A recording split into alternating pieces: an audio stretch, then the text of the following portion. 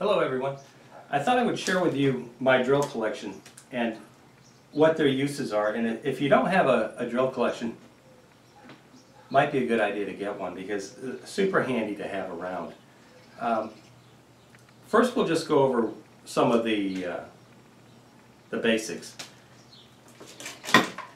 You can't go wrong with even going to garage sales and um, yard yard sales and pawn shops and picking up these older ones. And you go, well, why? Well, if you have more than one of these corded 3 3 8 inch drills, you can have one chucked already to drill and countersink for screws when you're doing your, your woodworking projects. And another one can have a Phillips head in it.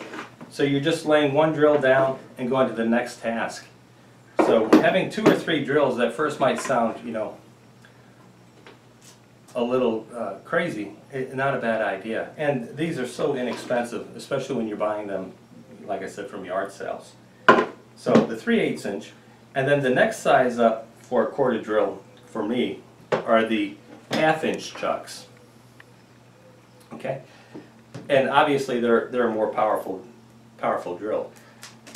When you're looking at the drills, okay, the one in my right hand, you'll notice right here, has a hammer drill feature. That is super handy. It allows you to use a special drill bit that will allow you to drill a hole immediately. It is super fast into concrete. Again, using a hammer action, it turns and, and hammers into it, removing the dust. And you can put a Tapcon or some kind of a, an anchor in, into, say, a brick, say into uh, a slab. So if you're just looking for one, I would look for a half inch with the, ha uh, with the hammer feature.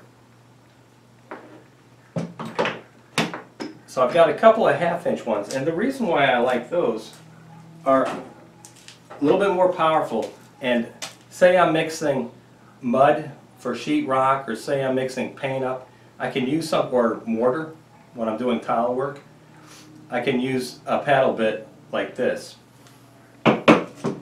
If it's a small bucket of paint, oftentimes I'll just use something like this, a little stir. Super handy. A lot more handy than a, wooden stick, although I still use those also for mixing paint. Now moving on to the uh, cordless. The one in my left hand, these are both 18 volt cordless. That's a that's a good sized battery. That's a, a strong battery, and again, super handy to have. This is good for drilling and putting in screws. And this is the impact, and again, it has a hammering action. And this is great for putting in fasteners such as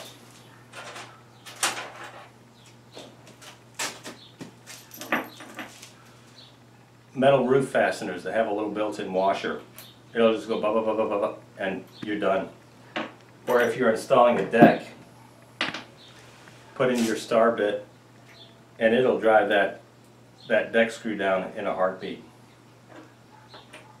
Another feature that I like about the cordless, obviously I don't have to have a cord, plug it in, the whole nine yards, super fast. But I like using the work lights with it.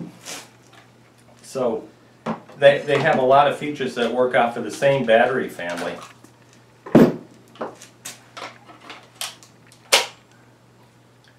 And, you know, you can just click it on. But you can also point it, say you're working underneath a cabinet, uh, fixing a, a leak in the, in the drain system or, in, or you're hooking it up with the plumbing. You can just put this like this, set it down, and you've got your cavity all, all uh, lit up. Another light that I like is this flexible one. And you can just point at what you want, what you're working on, and the arm will stay right where it's at. See. Let's talk about what we can use the drills for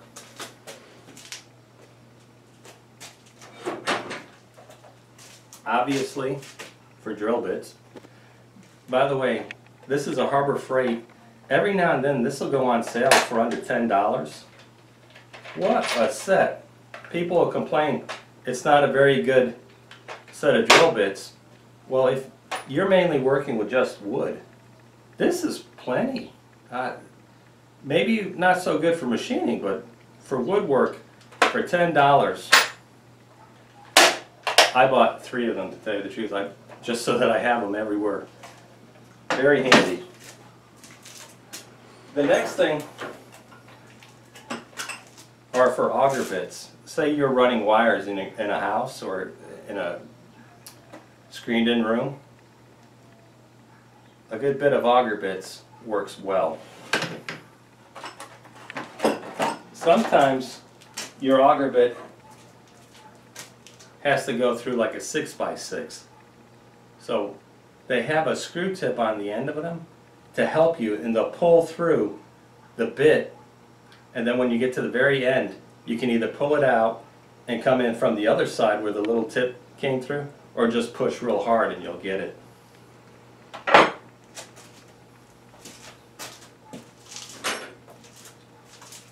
Sometimes you have to put a drain hole in some plywood and a hole saw, for example.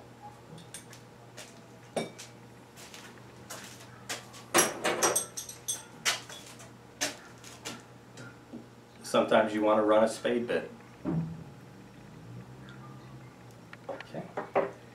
And the last one is what they call a Forstner bit, and that just leaves a and that just leaves a flat hole.